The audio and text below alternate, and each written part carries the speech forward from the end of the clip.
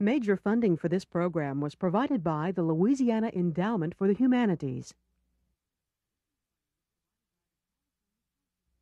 Additional funding was provided by the California Council for the Humanities.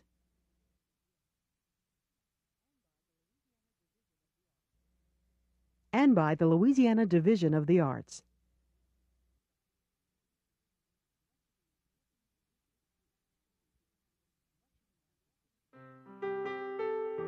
Much of America's history has disappeared from our country's consciousness, and often it is this history that explains what, where, and who we are.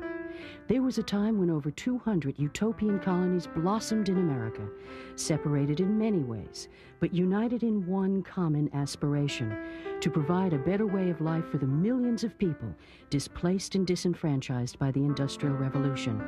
For these millions, the American dream had failed.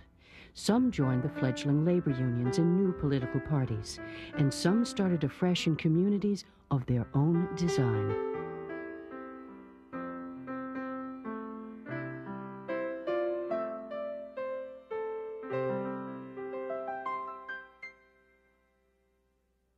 Llano del Rio was the last of the great American utopians, and the history of utopia has largely been written as a history of failure you know, misguided, uh, naive idealism. But in fact, utopianism has been absolutely essential to the American experience. America's history is punctuated by these utopias, beginning with the Pilgrims at Plymouth Rock. But it is the phenomenal numbers of utopian colonies that sprang up in the late 19th and early 20th centuries. Places like Clarion, Utah, Roycrofters in East Aurora, New York, Freedom Colony in Kansas, Puget Sound Colony, and Fairhope, Alabama, whose histories and import have been largely ignored and forgotten. Llano del Rio Cooperative Colony, America's longest lived socialist utopia, began with the vision of a man you have never heard of. This man was Job Harriman. I opened the door, and there stood a man. He said, I am Job Harriman. Now, I had often heard of Mr. Harriman. He was a leading lawyer in the state of California. He was the champion for the labor movement, the defender of the poor, the dispossessed, the unfortunate, and of the moneyless man. I did not exactly believe his theory would be successful, but it was so filled with romance that I agreed to think it over. He said this If you will join me and a few other of my friends, we will build a city and homes for many a homeless family. We will show the world a trick or two they do not know.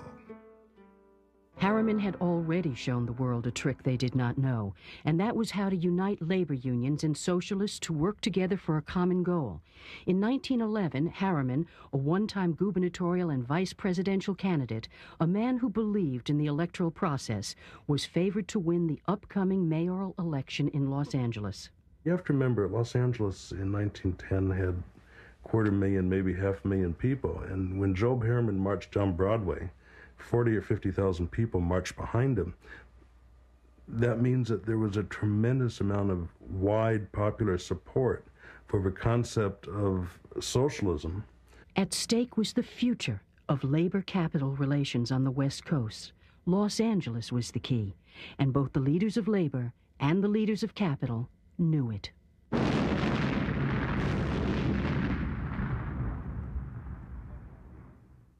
The Los Angeles Times, the bastion anti-union paper in the city owned by city boss Harrison Gray Otis was bombed, and over 20 workers were killed.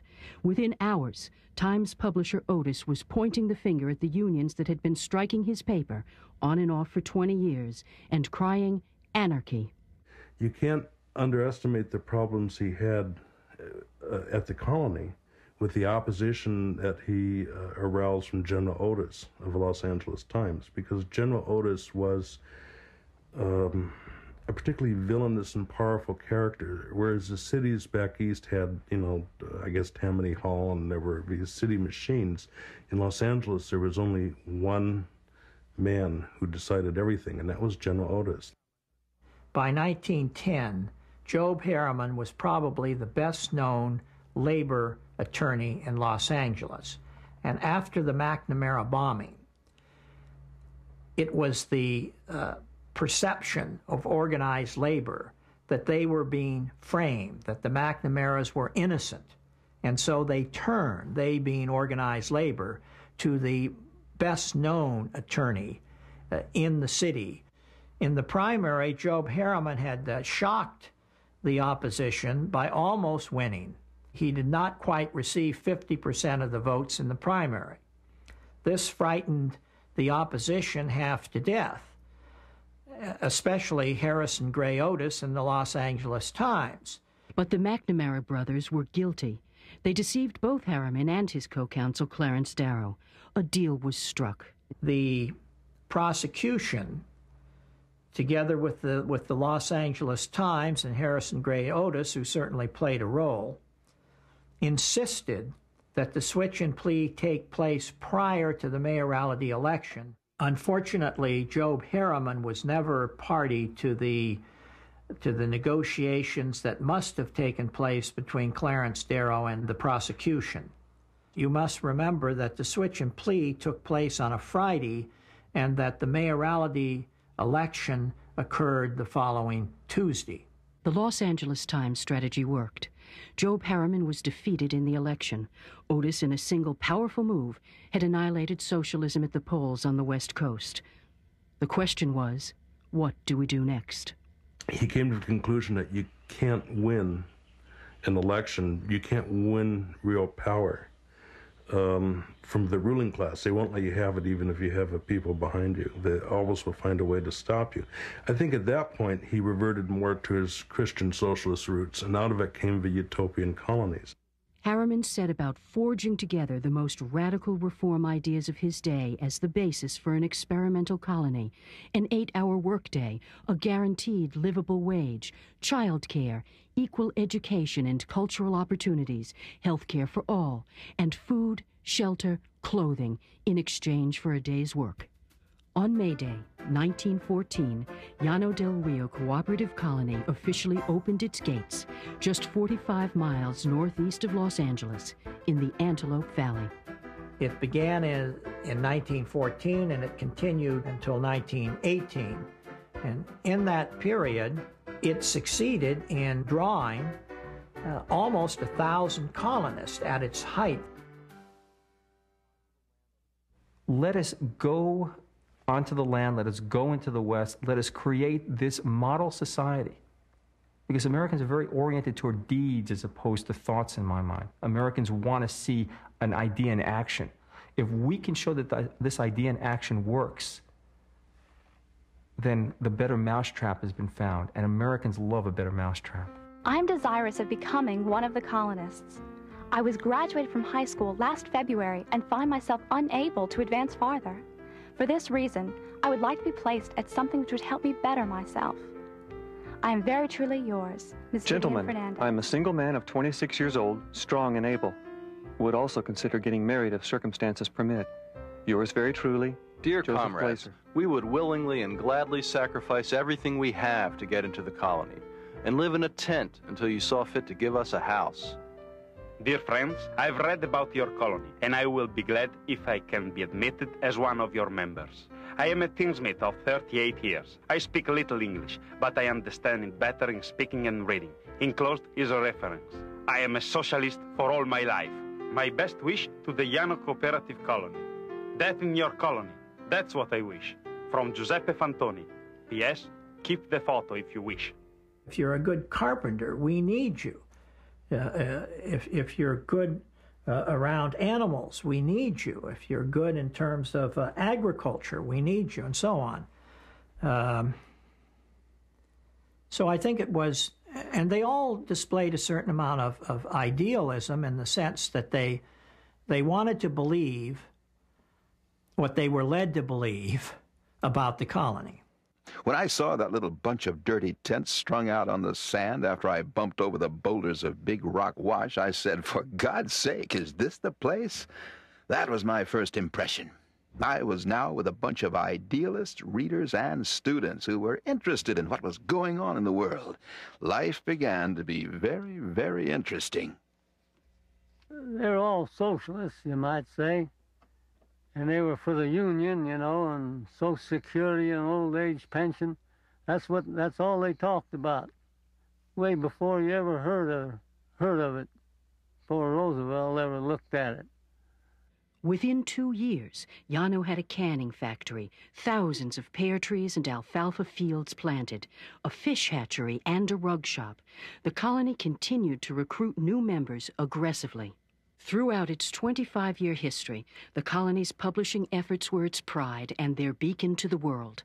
Upton Sinclair, Charlotte Perkins Gilman, Carl Sandburg, Jack London, and Erskine Caldwell were among the writers published in the colony papers. They published two publications. There was the Llano Colonist, which was a weekly and basically dealt with life at the colony, but it was very handsomely gotten up. And then there was the Western Comrade, which had uh, very, very wide national circulation and was just an incredibly gorgeous publication that dealt with issues, um, you know, more of interest to people uh, throughout the country. In order to be interested in Llano, you pretty much had to be uh, a counterculture type. Whether you were a rich counterculture, poor counterculture, you had to be there. You had to be real uh, politically aware. There were politically aware farmers, mechanics. Originally, a lot of the people came from the uh, the socialist bent trade unions. And yet, the vast majority of colonists identified themselves as mainstream, patriotic Americans. I never heard, but but two different people knocked the United States there that I remember. They didn't knock the United States. Like some people thought we, we was bucking the United States, but but uh, you know it was just uh, just change the system a little, and that was all. Whereas many colonists at Llano were socialist, it was certainly not a it wasn't a litmus test. It wasn't a requirement per se. You you and there were some who were not, and I think who said they were not and who didn't share necessarily all of the socialist uh, uh, aspirations. I think they were practically minded people. I don't think they're there for any other reason than uh, they thought it was a good living, no worry, no taxes, no thing like that. They liked it. They liked the life. I was used as an all around man during this month and had a pretty strenuous time of it, though I must admit I enjoyed it hugely, and like nearly every new comrade, full of enthusiasms and likewise, put my shoulder to the wheel and my heart in the enterprise, determined to make a success of the proposition. While children from poor families worked in sweatshops and roamed the big city slums, the Llano colony had a primary commitment to education and to preparing their young for productive lives. To me, Llano must have been just like heaven for kids. It must have just been wonderful because you had horses, you had sheep, you had goats, rabbits, you had places to go hiking. The idea behind Llano was to stimulate education. So, uh, unlike regular public schools, you would go to school and they'd say, uh, like Harold Mathewson, for example, they said, design and build a water wheel for us because we need water. So he designed it and he built it. He was maybe 16, 15, something like that. And that's a neat project for a kid.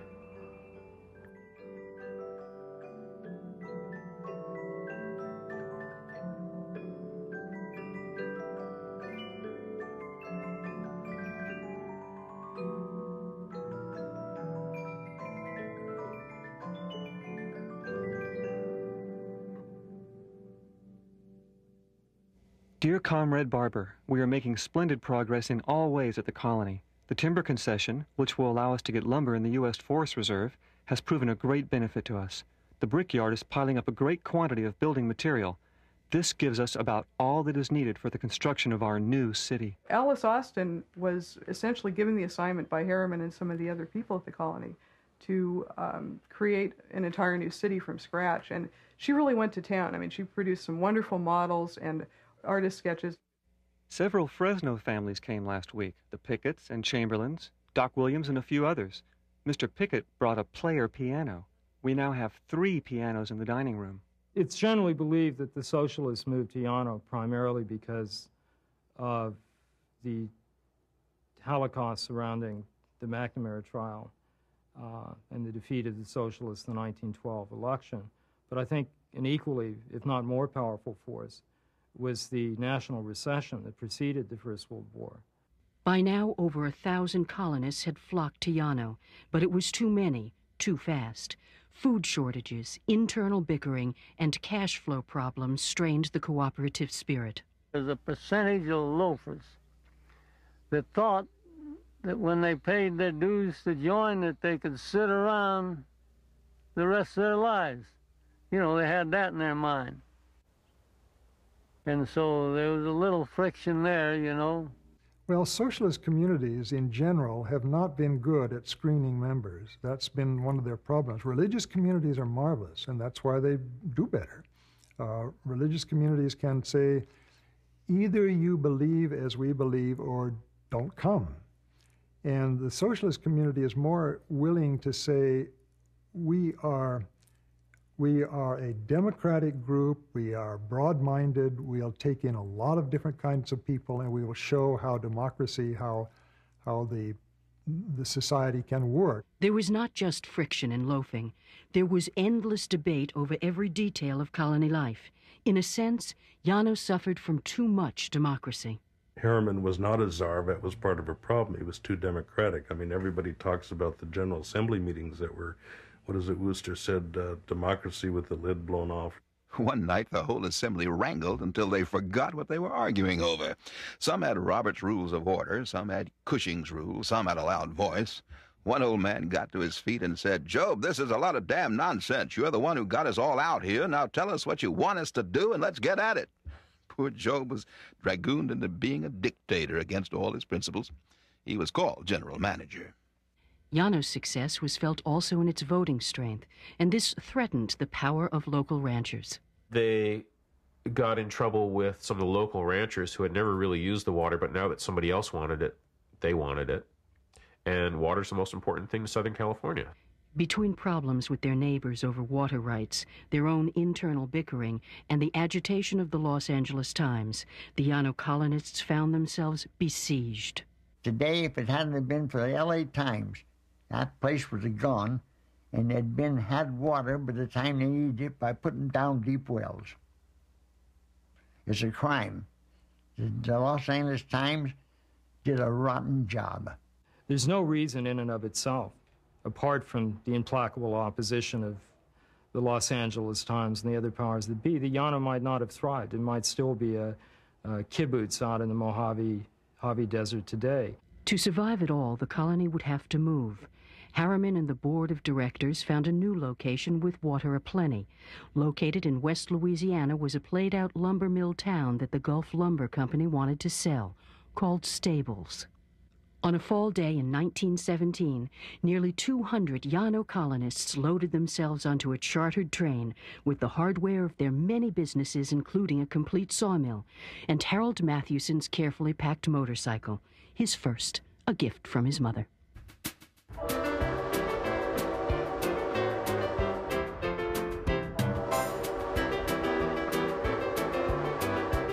Wooster and I went ahead on the train to get there ahead of the big crowd. After we were there a few days, the train that was chartered full of Llano people arrived. That was the beginning of the period of Llano's activity in the piney woods of Louisiana. We were now in the deep south. It was a big loss. It cost a lot of money to take that train and move them. It cost thousands of dollars.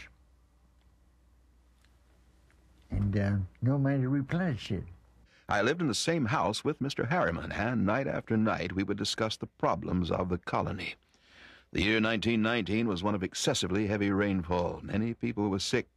We were both agreed that it was very doubtful if the necessary changes could be brought about soon enough to avert the disaster which we saw coming. Harriman had literally worked himself to death. The southern climate aggravated his tuberculosis, and the doctor ordered him to leave. In 1924, the colony bid farewell to Job Harriman. He died the following year in Los Angeles. Llano had lost its founder and its first home. The Llano del Rio Cooperative Colony was on the verge of collapse. But if Harriman was gone, others still believed. At the moment when most utopian colonies fail, George T. Pickett, former coach, real estate broker, and insurance salesman, bristling with American pragmatism, found ways to revitalize the colony, its membership, and its ideals. Pickett was a marvelous salesman on selling uh, this. I, I don't think it could have been done without him. Uh, he just had a way and he had an energy about him. If I understand right, the first people had to pay $2,000 to buy a membership in the Llano. Okay, well, they George reduced it down to $1,000.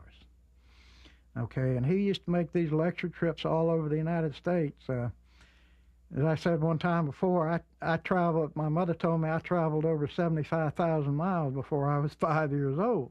To the beleaguered colonists, Pickett's street smarts and new approach made sense. He emphasized the cooperative nature of the colony.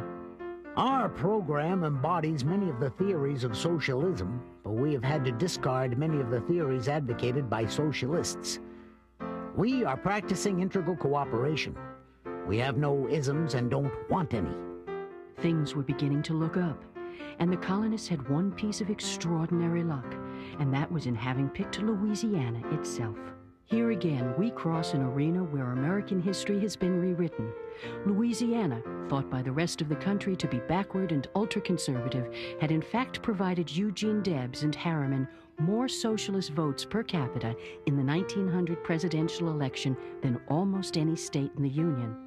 Moreover, West Louisiana was not less, but more radical than Harriman's own Socialist Party, having rallied against the lumber mill owners in the early 20th century behind the arch radical leadership of Bill Haywood and the industrial workers of the world. The people in Louisiana, particularly West Louisiana, at that time, were uh, heavily socialist to begin with, heavily uh, corporationist to begin with. In 1916, the year before they arrived here, the industrial workers of the world forestry union finally gave up, leaving behind them literally thousands and thousands of people who were blacklisted from uh, employment in the lumber industry. This was an area in which the Llano colonists came and found people who knew who they were, understood them. Pickett's tireless fundraising and recruiting efforts succeeded. These people became the new pioneers of Llano, willing to put up with the discomforts of the young colony. Many who couldn't come became loyal contributors. For the rest of their lives, these cooperators, socialists, Yankees, and immigrants, would adopt of all places West Louisiana as their home, sweet home. It was like one big family. You were thrown constantly with each other day after day, mealtime, working together. It was eh, social activities together. It, eh, it was just you were you were constant you were with people so much till they were just like a part of your family. My uh, parents never told us much about it until we uh, packed up to move on, and we moved on uh, July 4th, 1918 and we arrived in the colony in August August 21st, 1918. My mother shot rabbits for rabbit stew for supper on the way to, to the colony. She was a good shot. Well, there are no churches in Llano Colony, but there were no uh, liquor stores, there were no bars, there were no houses of prostitution. The sheriff was asked, Demps Turner was asked, uh, how about the people in New Llano? And he says if everybody in Vernon Parish behaved like they do, I'd be out of a job. When families came there, the the wife would work in one section, maybe at, in the kitchen or in the in the hotel part. They were not dependent on the husbands like they were when they worked on the farm. There were some that separated. My parents were one of them. It was not because the the colony uh, was an organization that sponsored separation of them, but rather it was it was marriages that had failed already. And when they came there, there was a means of the wife separating. Three of my brothers married women from the colony, and none of them were less than 50 years of married life. The nearby Leesville residents were fascinated by their new neighbors, but critically for the colony's success, unlike in California, the Louisianians did accept them as neighbors. See, most people, we didn't know much about socialism, communism, things like that.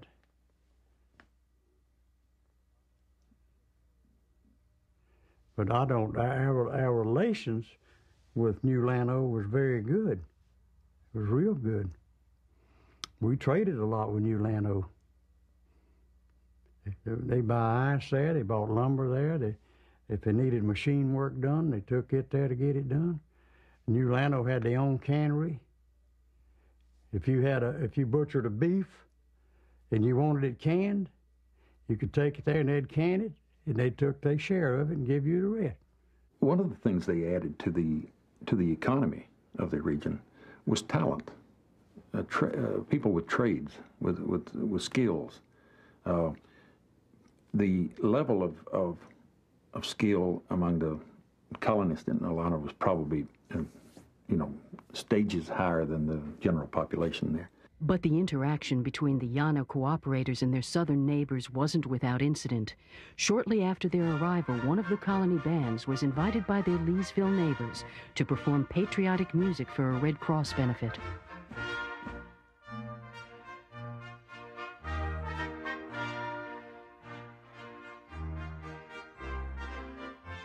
We was playing and thinking nothing about it. All of a sudden, there was a commotion in the crowd. Somebody got up on a chair and shouted, Play Dixie for Christ's sakes! Play Dixie! We didn't know what was the matter. We played Dixie all right without stopping to hunt for the music. The crowd was getting noisy, and everybody was getting out of their seats. The man yelled, Get a rope! It began to look pretty bad, so we grabbed our instruments and music stands and scattered like fish. The next day, we found out what was the matter. We were playing Sherman's song, Marching Through Georgia. We didn't know it was a crime. We was innocent as a bunch of babies.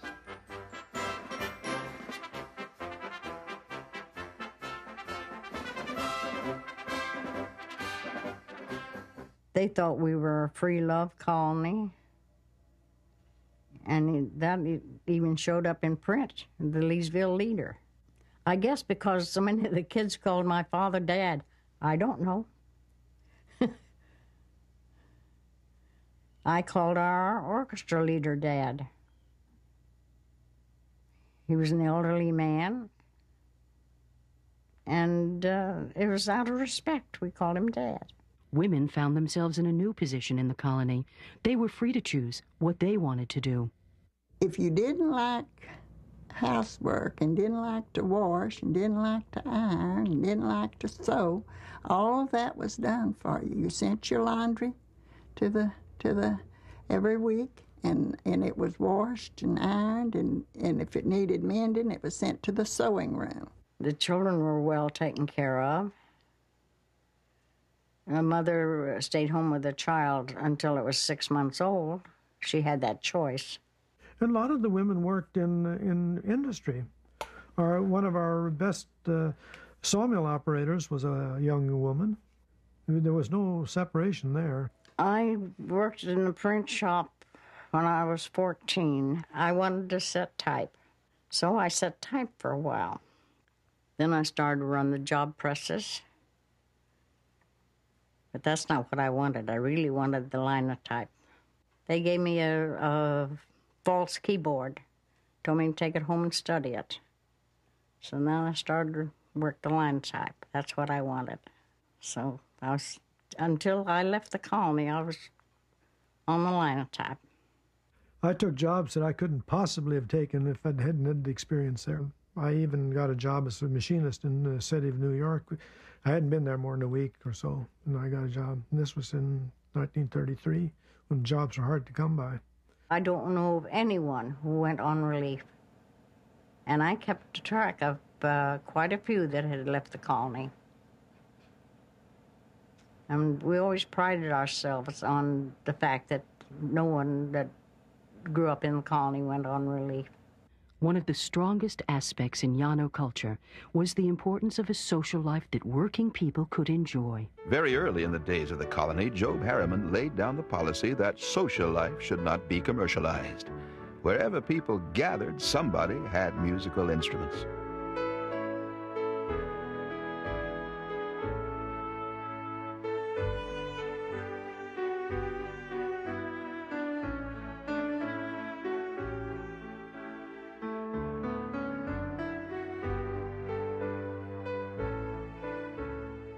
Soon they began to have regular dances, and it was a very wholesome crowd.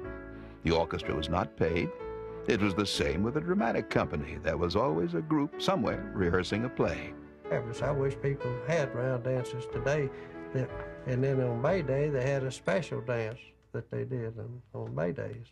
But everybody participated, young and old alike, and it was a sight just back home from watching. Them. You didn't have to participate, just watch. And uh, so a lot of the outsiders, that's the point I'm trying to get to, did come and join in in those social functions.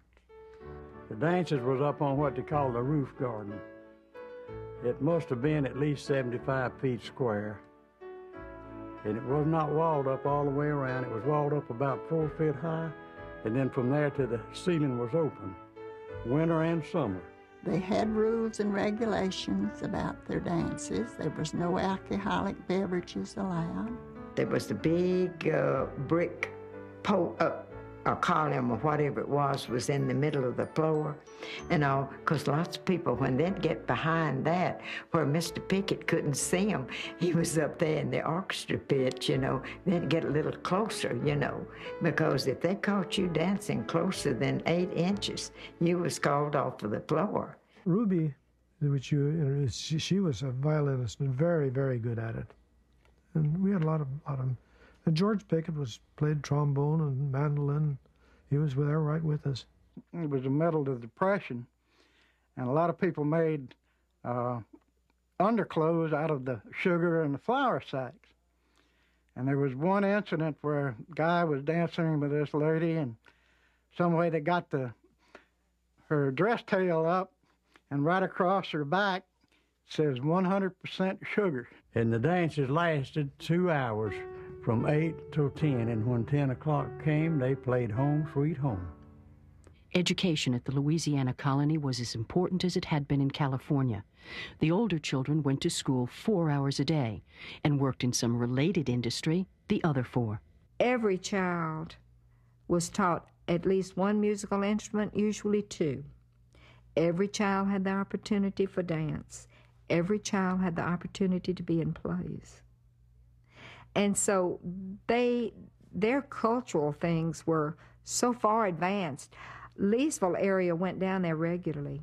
They also had the first library in Vernon Parish, and it was open to the whole parish for a one dollar membership for life. It was a far far better school than the the normal school. We went to school a half a day and then we worked in an industry or the garden the other half.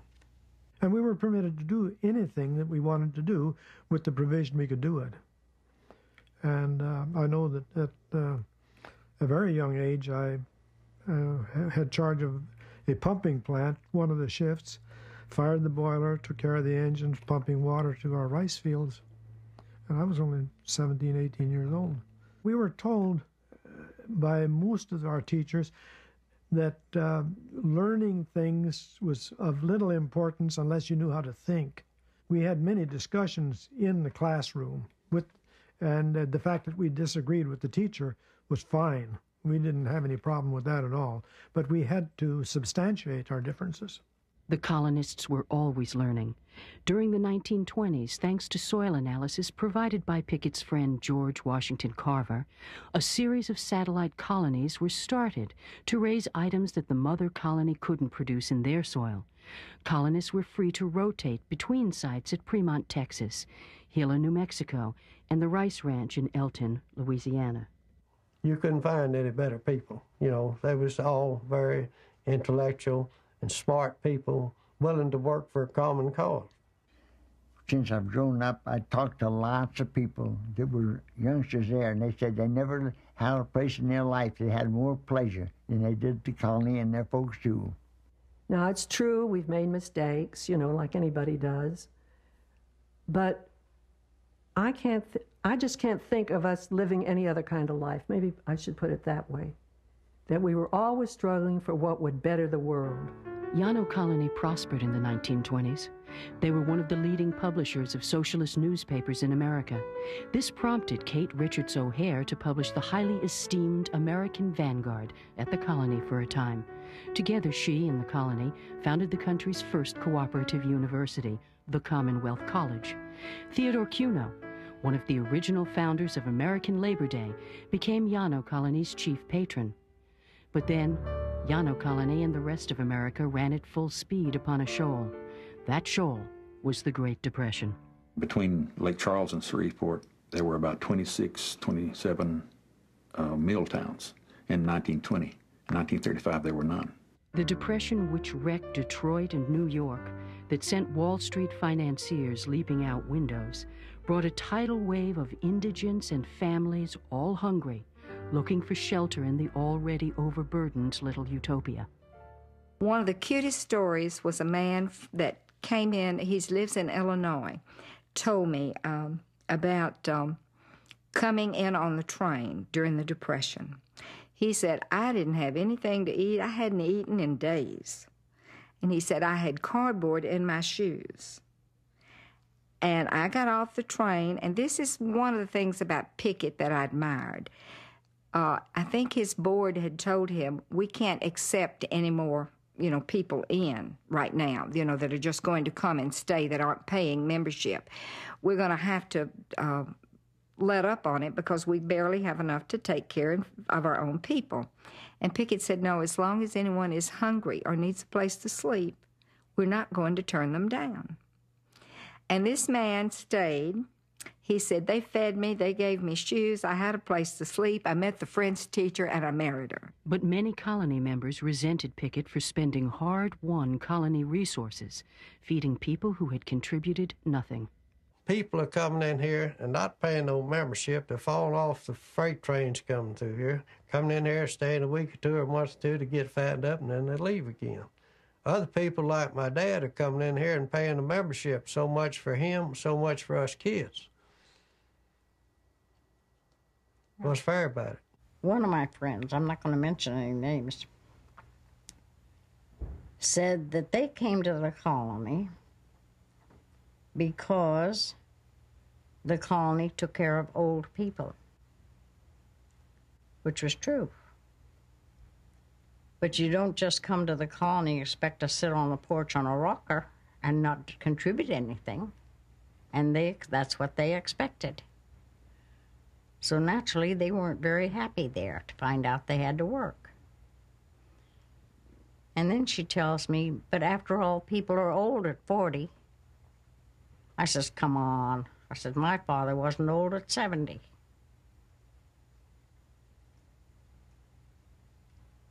So that's the attitude of many people who came and contributed nothing, not even a good day's work that there was a man with his family, his wife and daughter, came down that street with a two horse wagon. And he stopped and asked my brother in law where the colony was. And he said, You just keep going to where you going, and it's about two miles from here. And he thanked him and went on. He, he gave him his team, his wagon and everything for stock in New Llano. And after he joined it, he didn't like what he saw. Of course, he done give away his team. And in a few days, he passed back by that grocery store that my brother-in-law run, and he told him, he said, I'm going back home because I didn't like what I saw. And he was afoot. You know what I mean by being afoot? He was walking. Even under the stresses of the Depression, Pickett and his followers continued to hold things together. But some of the colonists felt Pickett ran roughshod over their interests. Again, every detail of colony life became a debate. You know, even our founding fathers said that democracy is the least efficient form of government. Well, here these people are trying to make a living in a impoverished atmosphere, you might say. You haven't got time for everybody to put in their ideas, but they did. To allow colonists to vent their frustrations, Pickett established what were called psychology meetings. Some of these meetings served also to discredit anyone who disagreed with Pickett. he knew that uh, the people wasn't going to, all of them wasn't going to do what he wanted them to do. And he got up there at, at the, what they call the psych meeting, and he told them uh, what they, what he thought they ought to do and what they, he thought they oughtn't to do. Well, some of them get up there and uh, they'd argue with him, take up the time that ought to have been spent on something more productive. I mean, Pickett was obviously just a very different person than Harriman, and I don't think intellectually at all was on the same level. Pickett was the czar that Harriman was accused of being. I mean, I think he knew how to run the colony with an iron hand, and I think it's just what he did. I think Pickett was a pretty straight fellow. Pretty straight fellow. You go to him and deal with him properly. Tell him the, the lowdown on anything you were thinking, and uh, you, he'll give you consideration. As the situation worsened, Pickett again went on the road to get new members, and especially new money. With Pickett away, the discontented, many ex Pickett friends and supporters determined to turn him out of office, legally or illegally. I was seven years old when they had the revolution in, in 1935. Uh, this little book, this Crisis of Llano Colony, tells what happened. Now, George was up in Washington trying to get something done. I took sides with the part that was dissatisfied with the way that it was run. And uh, the majority of the people felt they was right and wanted to make a change. So uh, we more or less overthrew the ones in power and took over. George would not relinquish his leadership. They went down and bodily went in there and picked him up and threw him over the banister, threw him off that porch out of his office. Well, we put Pickett out of power here and took over because people felt like he wasn't doing a job that needed to be done. He was run all over the country, living in these hotels and motels, and here we are back here eating rice and beans. Howard Young, son of uh, Sid Young, was kind of posted there as guard, and he had a he had George's 32 automatic. And they left him there to stand guard, so we couldn't get the records to see what money was owed, what money we had coming in, or stuff like that. They came in, they were going to take over the, the office, and they had just one man now, this Howard Young, and this whole crowd went in there, and uh, I think Howard shot a couple of times in the ceiling to scare them off, and they wrestled with him, and they shot old Charlie to the left in the leg. Threats were made. There were acts of sabotage. There had never been trouble at Llano, not a single arrest in its 20 odd years. One of the principals behind the revolution was Doc Williams, who had joined the colony in California with Pickett. The revolutionaries selected him as the new general manager. Christ had his Judas, so did George. George had two of them. One was Doc Williams, and the other one it was A. James McDonald. But Williams, McDonald, and the other revolutionaries had legitimate complaints.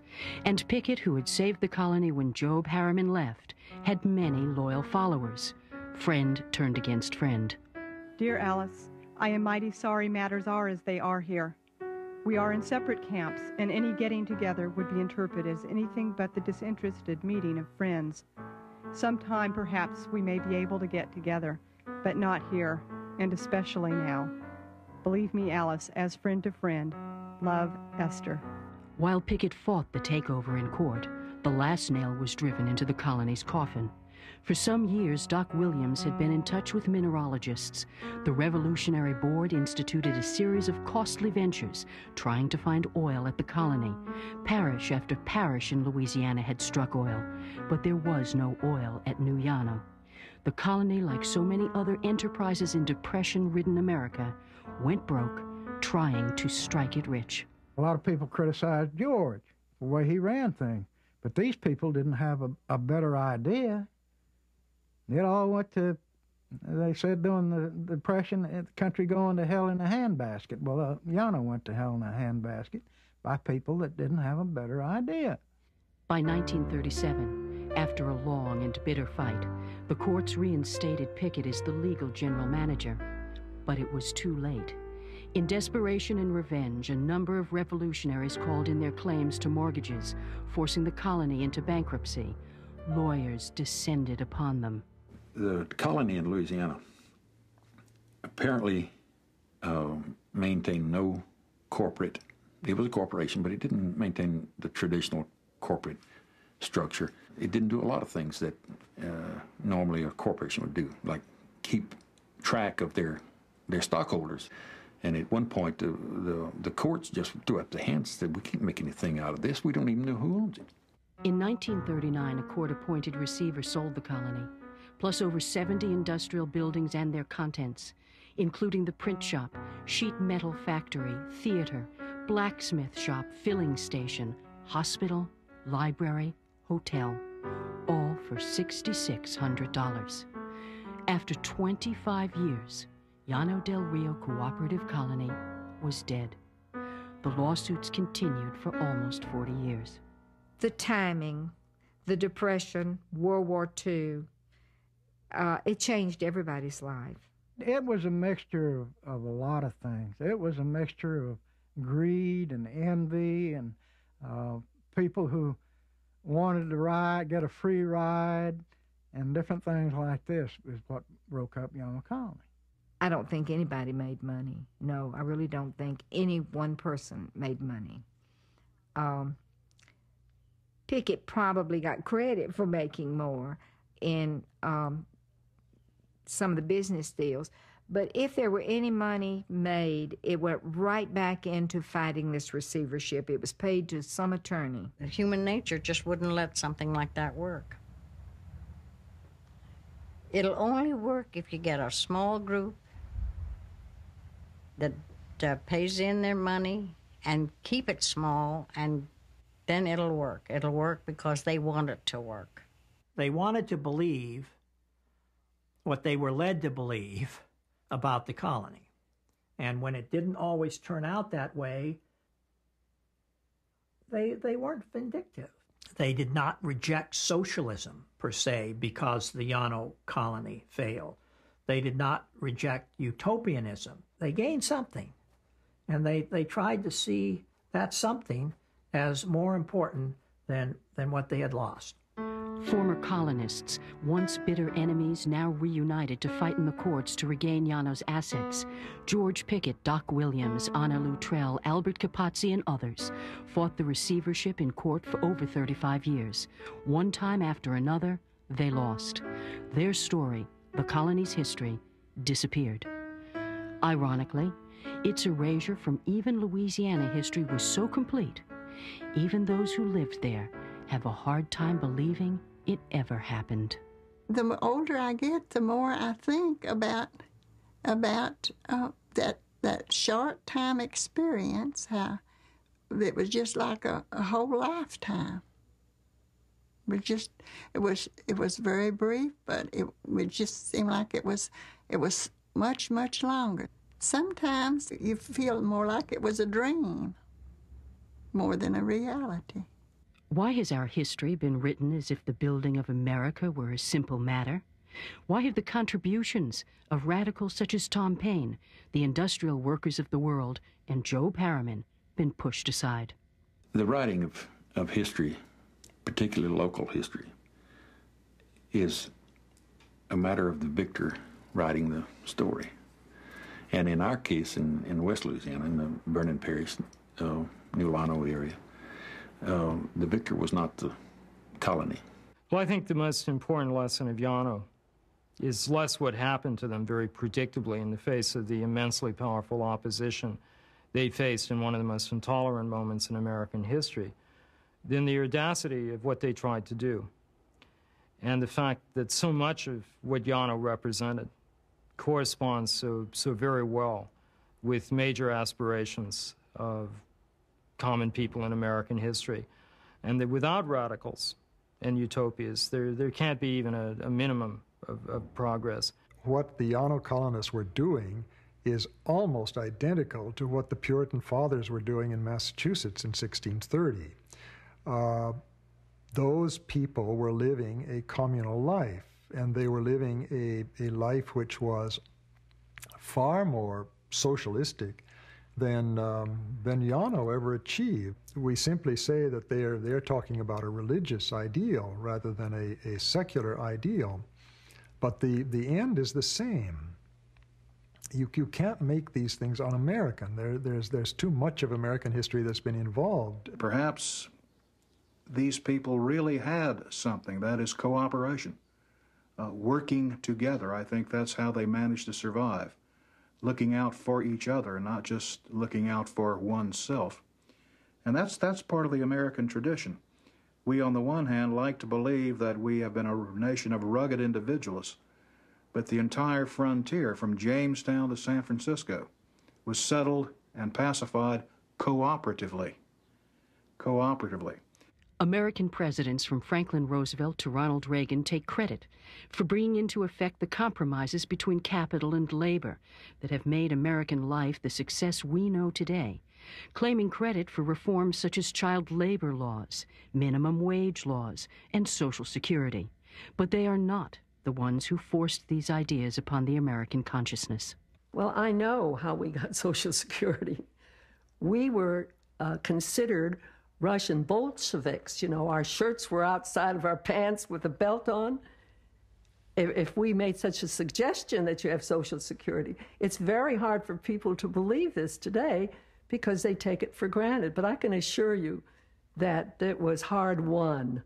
And if it weren't for the liberals, the utopians, the radicals who, who are with us at all times, we probably would all still be swinging from tree to tree and eating each other because they're the ones who are behind all changes, not necessarily for the better, but certainly including all changes for the better. And from this came the idea of unemployment compensation, old age insurance, Social Security, and eventually Medicare, Medicaid, and the other tidbits of socialism.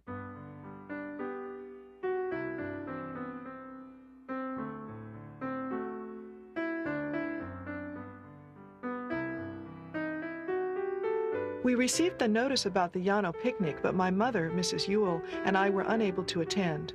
It is remarkable how the small group hangs together, from mutual interest, no doubt. Do you have any news from Mr. Cantrell and his family? We haven't heard of him for a long time. In a sense, the obituary of Llano Colony was written by one of Llano's first members, Bert Moore, in a letter to George Pickett in 1958. George, I'm over 80 and slipping fast. The end for me is getting so close that I feel I should not have any obligation to leave up in the air when I go. Lawyers have been our undoing. I don't understand your explanation of the new case, but I do know nobody wins a certain number of points in a lawsuit. You either win or lose. Enclosed is my resignation as Director and Secretary Treasurer of Llano del Rio. George, I'm tired and I feel like my life has been wasted. I've seen letters like that, and I weep when I see letters like that because for the individual who has put in so many years, putting their head against the wall and seeing their, their head beaten against the wall, seeing their efforts upset by others, seeing their efforts repressed by authorities, look back on a life that seems to have no meaning, no significance. And what I offer them is, is a sop, really. And the sop that I offer is history is of the risk takers. These are the examples that propel us, propel us to be greater than ourselves, to be greater than our smallest intentions, to be able to be outward looking as opposed to inward looking. And without those examples, despite the pain, the misery that we're talking about, without those examples, it's a brutish race, and it's a brutish life. The Llano colonists were pioneers. Almost every social reform they championed is now part and parcel of American life. Who were these people our history chooses to ignore? Harriman. No, I didn't. I can't recall. I might have knew him by his face. What did he do? Anything special?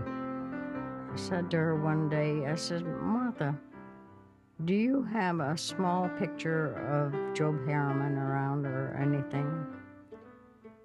And she said, No. I said, Well, that picture up there is Job Harriman. It was Job Harriman when he was young. What is a man's life? The Townsend Act, the Medicare Act, the Workmen's Compensation Act, the minimum wage laws, the Social Security Act, the child labor laws. This is Job Harriman, a man you've never heard of. He and tens of thousands of Americans like him have disappeared from our history books. These people were Americans.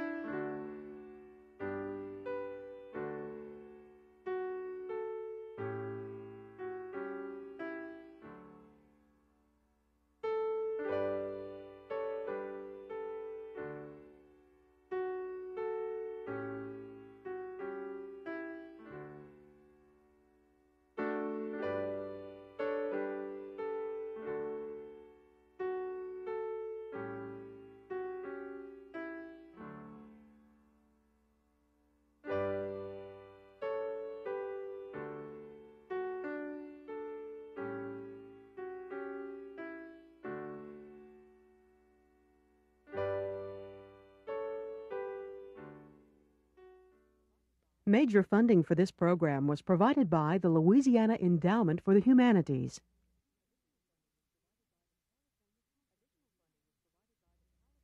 Additional funding was provided by the California Council for the Humanities.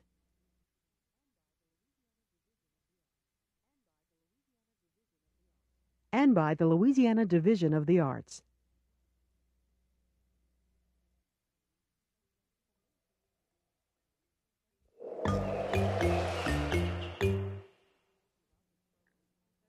For more information about this program, study guides, and cassette copies, please contact LPB at area code 504 767 5660 or write to us at 7860 Anselmo Lane, Baton Rouge, Louisiana 70810.